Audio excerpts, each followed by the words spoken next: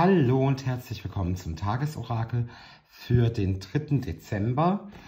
Und wir haben zehn Stäbe, es geht um Aufbruchstimmung, es geht ein Stück weit darum, etwas auch ähm, loszulassen, etwas zu verarbeiten, wieder in die eigene Aktivität hineinzufinden.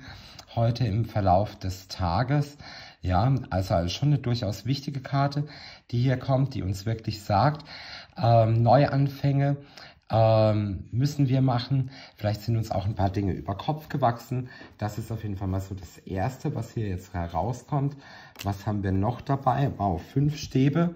Also es wird ein stabreicher Tag heute werden. Also es ist, kann der Gewinn sein, aber es wird ein bisschen Wettkampf geben, vielleicht auch eine kleine Rangelei oder eine kleine Diskussion die ihr vielleicht im Laufe des Tages führen werdet. Also stellt euch darauf mal kurz ein.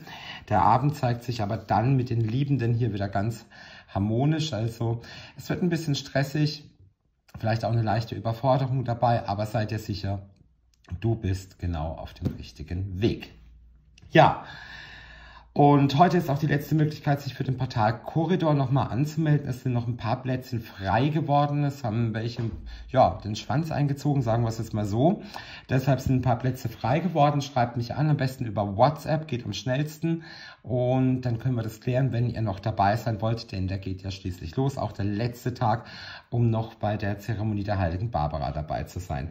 Wunderbar, ich freue mich auf euch, freue mich von euch zu hören heute natürlich auch für eine kurze Frage bei WhatsApp mit einer Expressberatung und natürlich können auch Termine vereinbart werden. Ich bin nur noch hier erreichbar, also nutzt es aus und ich freue mich auf euch einen wunderschönen Dienstag. Ciao, euer Malkiel.